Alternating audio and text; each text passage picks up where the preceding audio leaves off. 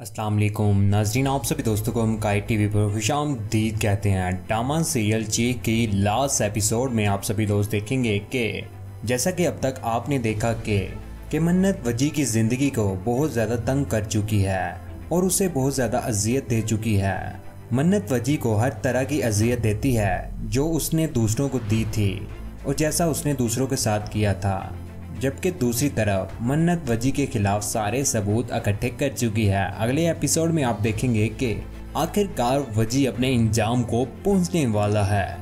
मन्नत वजी को वो सभी बातें याद करवाती है, जो उसने उसके साथ किए होते हैं और उसने जो जो गुनाह किए होते हैं।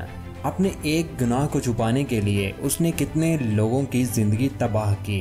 पहले मन्नत की ज़िंदगी को, उसके बाद यावर की ज़िंदगी को और यावर की बीवी को भी घर से निकलवा दिया। लेकिन जब उसके बाद उसकी बहन उसके खिलाफ बोलती है तो इंसाफ के साथ वो खड़ी हुई तो उसने उसको भी घर से निकाल दिया।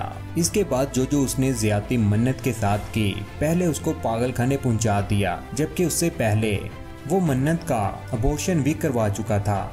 शदीद डिप्रेशन और सदमे की वजह से मन्नत का जहनी तोज़न खराब हो जाता है।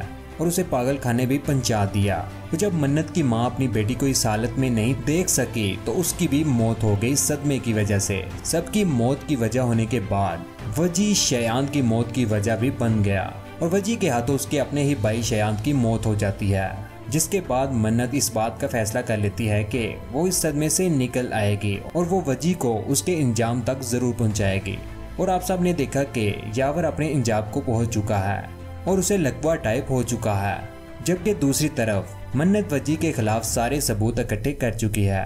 और वजी अपनी मौत और इंजाम को सामने देखते हुए सच से बहुत भागने की कोशिश कर रहा है और एडी चोटी का ज़ोर लगाता है कि किसी न किसी तरह से उसकी बचत हो जाए। लेकिन मन्नत उन सबूतों का इस्तेमाल करते हुए वजी को उसके इंजाम तक पहुँचा देती है। पहले तो वजी मन्नत पर हावी हो गया था, लेकिन इस बार मन्नत वजी की हर कोशिश को नाकाम बनाती है। यहाँ पर आखिरी एपिसोड में ये तो नहीं दिखाया गया कि वजी का इंजाम क्या है, लेकिन प्रोमो को देखकर ऐसा लगता है कि वजी को जेल हो जाए और वो पागल हो जाए और उसे उम्र कैद की सजा भी हो जाए।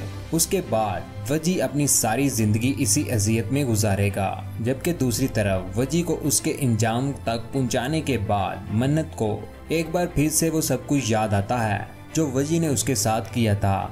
और मन्नत वो सब याद करके बहुत ज़्यादा रोती है। और यहाँ पर मन्नत ने तो वजी को उसके इंजाम तक पहुँचा दिया।